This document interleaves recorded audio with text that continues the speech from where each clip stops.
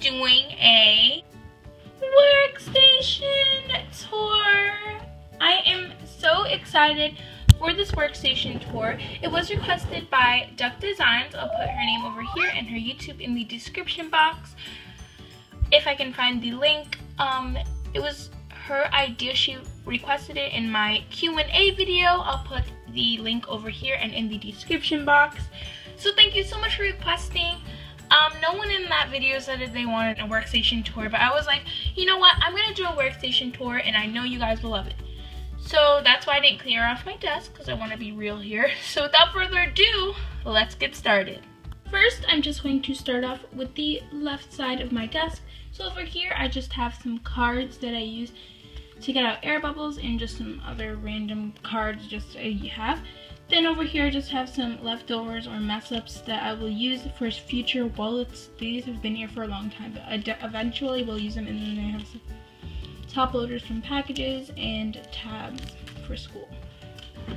Then over here I just have my three pencil cup holders that I made out of duct tape.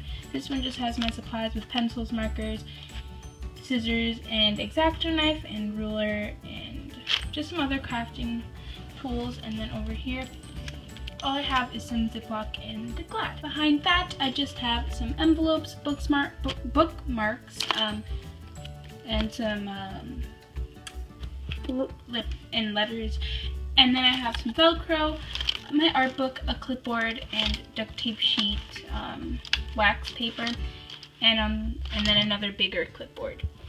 Then over here, I just have a wax maker machine. It was supposed to be for stickers, but I decided to use that for designs as well. And then I just have a bag that I like to use. I'm going to put a spotlight on my notebook.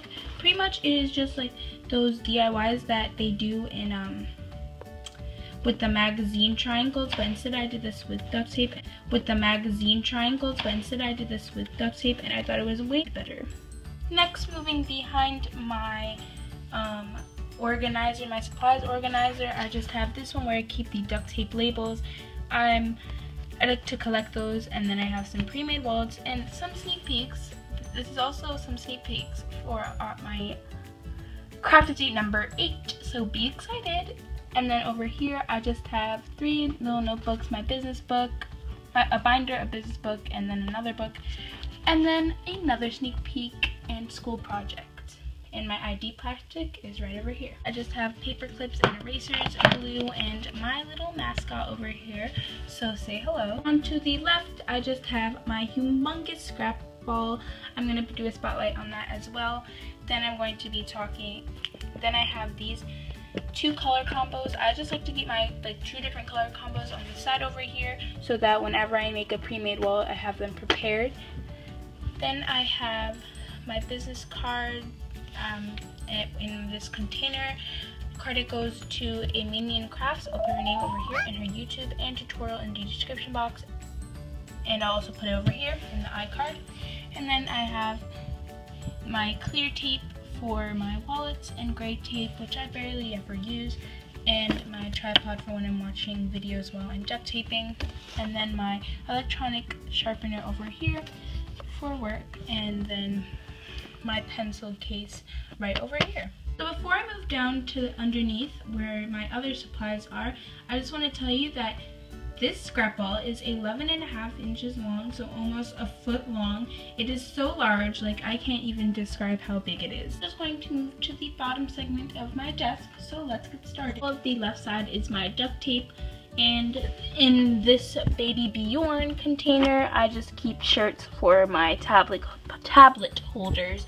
But everything else is duct tape. So I'm not really to go through this, but I'm just going to say that if you want a duct tape collection, please comment down below and I will definitely be doing it. So over here to the left, I just have some supplies. So in the top drawer, I just like to keep some DIYs I need to finish, my air bubble map things, um, some my Sharpies, and other activities, my business cards, and that's what I like to keep in the top drawer. In the second drawer, I just like to keep my stickers. Um, I have one duct tape label in here that I need to move to where I normally keep them, but I normally keep them on my desk. Then I have a hole puncher, a pencil case, acrylic paint, and cardstock and colored paper and some designs. I will definitely be cutting that out soon. Then on the bottom drawer, right next to my trash, I just have cardstock, my giveaway prizes, and some empty rolls of duct tape for pencil cup holders. So pretty much it's all in the plastic left side of my desk. To the farther right, I just have my um, my laminator. Nothing too fancy, it's just something I got for Christmas. It had nothing to do with duct tape, so I didn't put it in the video, which I will link over here and in the description box.